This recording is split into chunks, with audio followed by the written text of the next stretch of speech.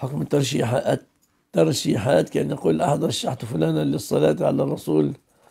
عشر مرات ثم رشح غرف في اليوم التالي كلام غير وارد عن اصول وأصحابه